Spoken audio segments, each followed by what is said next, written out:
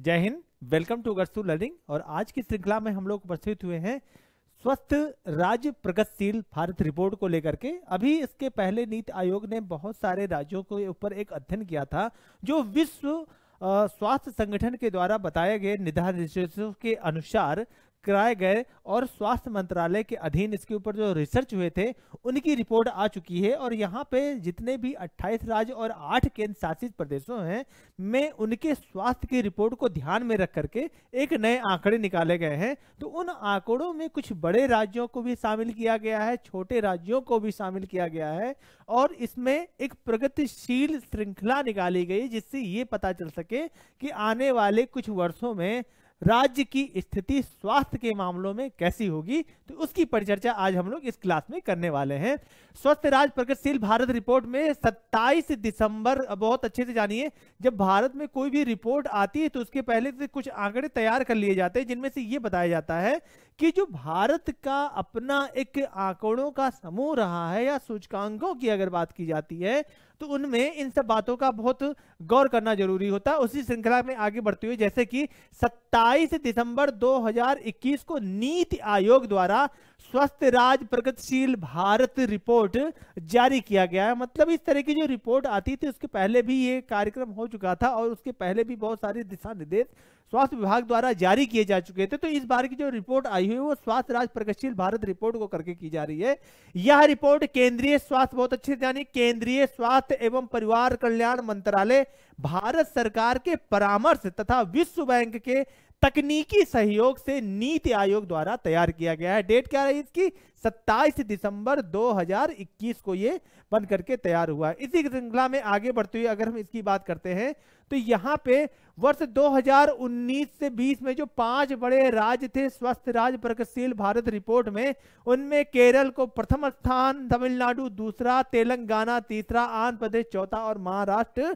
पाँचवें स्थान पे अगर हम इनके स्कोर की बात करते हैं तो स्कोरिंग में केरल राज्य 82.20 तमिलनाडु 72.42 और तेलंगाना 69.96 आंध्र प्रदेश 69.95 और महाराष्ट्र 69.14 की स्कोरिंग पर है। इसी में अगर हम छोटे राज्यों की बात करते हैं तो छोटे राज्यों में भी मिजोरम हमारा फ़र्स्ट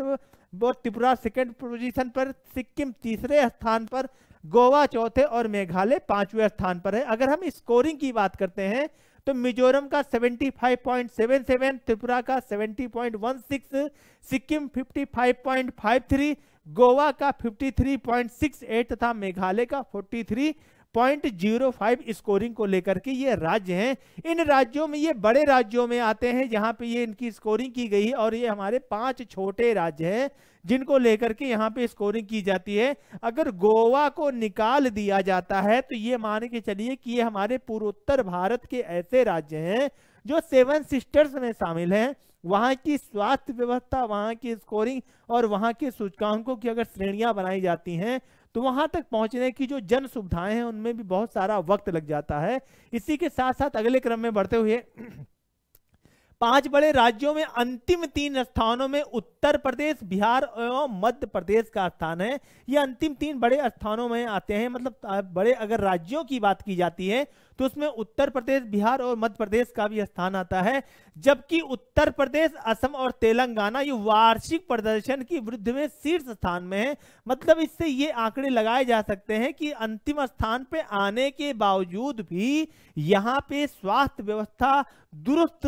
की जा रही थी या इन वर्षों में इनमें स्वास्थ्य पर विशेष ध्यान दिया गया, जिनका वार्षिक प्रदर्शन वृद्धि बहुत ज़्यादा अच्छी रही और इसमें ये शीर्ष स्थान पर आते हैं। लेकिन आंकड़ों की अगर बात करते हैं तो अंतिम तीन स्थान पे उत्तर प्रदेश, बिहार और मध्य प्रदेश का स्थान आता है, लेकिन इनका जो प्रदर्शन रहा है, वो वार्षिक स्तर पर शीर्ष स्थान वाला रहा है। इसी में अगर हम छोटे राज्यों की बात करते हैं तो वार्षिक प्रदर्शन वृद्धि में मिजोरम को शीर्ष स्थान दिया गया है और नागालैंड को अंतिम स्थान दिया गया है। मिजोरम और नागालैंड ये भारत के पूर्वोत्तर राज्यों में आते वहाँ के संसाधन और व्यवस्था की अगर बात की जाए तो वहाँ पे भी बहुत अच्छी व्यवस्था है और आगे भी बढ़ोतरी हो रही है। तो ये जो दो राज्य हैं, छोटे राज्यों में नागालैंड और मिजोरम की बात है, ये पूर्वोत्तर भारत के राज्यों में है। तो ये अंतिम स्वास्थ्य रिपोर्ट या अगर हम स्वस्थ राज्य, प्रगतिशील भारत रिपोर्ट की बात करते हैं तो मिजोरम और नागालैंड ये अंतिम स्थान पर आते हैं। इसी क्रम में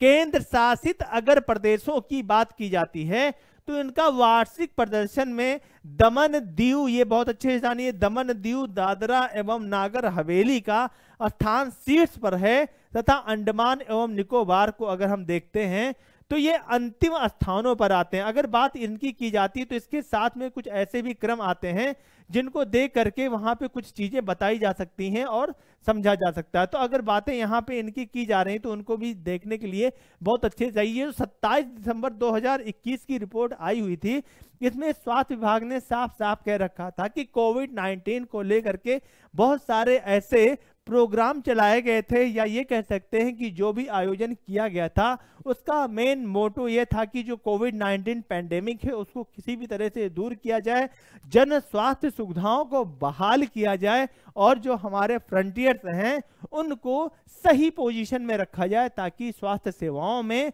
ज़्यादा इजाफा हो सके, लोगों तक आसानी से